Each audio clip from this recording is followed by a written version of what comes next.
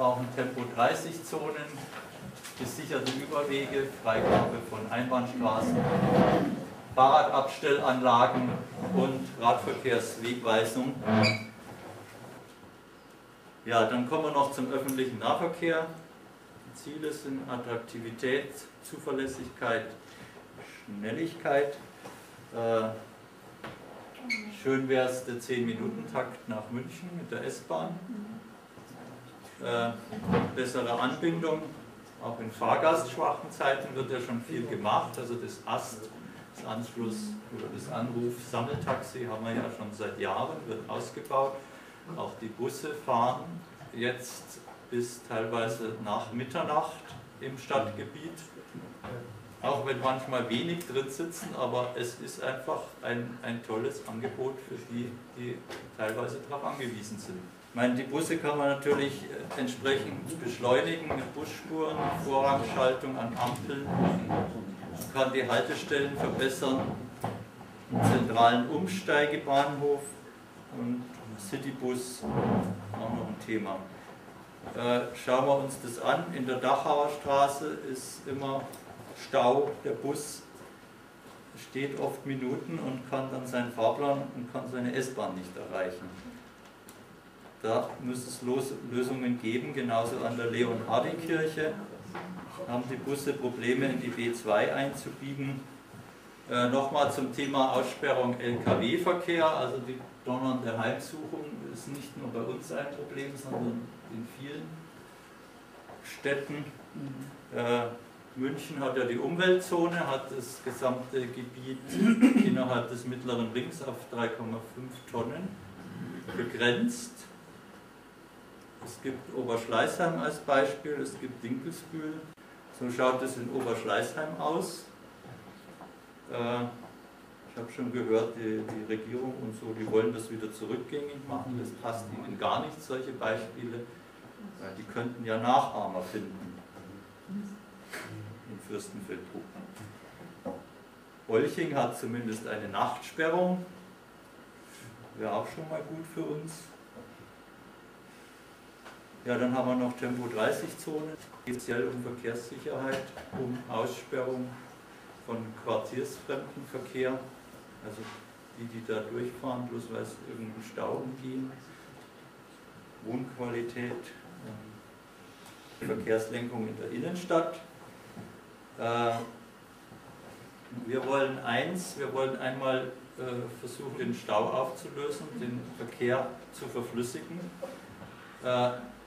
Der Stau entsteht nicht auf der Brücke, also die Brücke ist nicht das Problem, sondern die Ampeln, vor allem am Rathaus, sind das Problem, weil einfach so viele Verkehrsbeziehungen da sind, man kann in alle Richtungen abbiegen und jede braucht eine eigene Grünphase und dazwischen wieder eine Sicherheitsphase.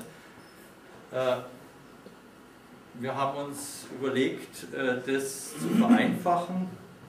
Wir sehen es dann gleich auf dem Plan. Also man kann die Ampeln Phasen ändern, man kann Einbahnstraßen machen und einen Kreisel.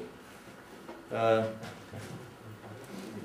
das Ziel ist, äh, in der westlichen Innenstadt, wie ich vorhin schon gesagt habe, verkehrsberuhigte Geschäftsbereiche zu machen. Also das neue Schlagwort ist Shared Space, wo man äh, die ganze Fläche, nicht mehr dieses Asphaltband durchpflastert und alles auf 15 Stundenkilometer macht, das hat zur Folge, dass einfach der, der jetzt von der Amperbrücke raus in die Landsberger Straße fährt, dann nicht mehr durchfährt, weil es ihm unattraktiv ist, sondern der müsste halt über Münchner und Oskar von Miller Straße außen fahren. Und dazwischen, zwischen den beiden Straßen, die Fußgängerzone Viehmarkt und Ludwigstraße und das Ganze eben durch Passagen durch die Hinterhöfe verknüpft. Da habe ich jetzt also den Plan dazu. Also fangen wir mal an hier. Schöngeisinger Straße wird in dem Bereich Einbahnstraße stadteinwärts, um diesen Knotenpunkt zu entlasten. Da man jetzt da nicht mehr links abbiegen kann, findet das Ganze da oben statt und die Bucherstraße wird Einbahnstraße stadtauswärts. Was hier noch ein großes Problem ist, äh, ist diese Situation, dass die, Augsburg, äh, die Dachauer Straße hier reinfährt. Das ist nämlich ein, eine total unwirtschaftliche Situation, weil alles steht und hier nur fünf Autos reinfahren. Ne? Dann ist es sowieso wieder rot. Aber das hat so, wenn, wenn man diese Ampelphase wegnimmt, äh, hat es so viel äh, Sekunden für die anderen Verkehrsströme, dass, dass der Verkehr auf der Hauptstraße auf jeden Fall besser fließt. Es, geht wirklich nur um Sekunden. Mhm. Äh, was wir vorhaben, ist eben den Verkehr aus der Dachauer Straße rechts abbiegen zu lassen und hier an der Philipp Weiß Meisacher Straße einen großen Kreiser zu machen und wer halt statt einwärts will, der muss halt einmal um Kreiser und fährt dann wieder rein. Ähm, das Ganze wird natürlich zu einer gewissen Verkehrsverlagerung führen, also wer da oben in dem Viertel wohnt, der wird halt gleich anders fahren und nur noch der Verkehr vom Anschluss FFB Ost wird die Dachauer Straße reinfahren. Äh, Einbahnstraßen wirklich nur da, wo sie notwendig sind, das heißt ab, was ist das, Lederer Straße? Mhm.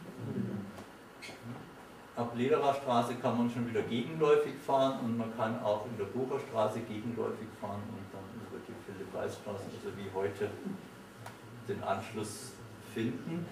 Die ganzen Bereiche, also sage ich mal hier bis zur Ferdinand-Müller-Straße und die Schöngeisinger Straße bis hier zur Kapuzinerstraße könnte man als verkehrsberuhigte Geschäftsbereiche machen, wo also wirklich die Straße umgestaltet wird, wo man wirklich nur noch mit 15 Stundenkilometer, also in, sage ich mal, in Radfahrergeschwindigkeit durchfährt.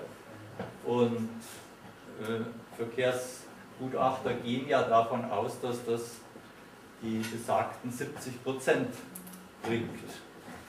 Also wie viel möchte ich mich nicht festlegen, ich weiß es nicht. Und wie gesagt, da in der Mitte Viehmarktstraße, eventuell Ludwigstraße, Fußgängerzone, die sich eben hier verknüpfen kann, auch in den Ostteil der Stadt oder hier runter auf die Lände, eventuelles Neubaugebiet.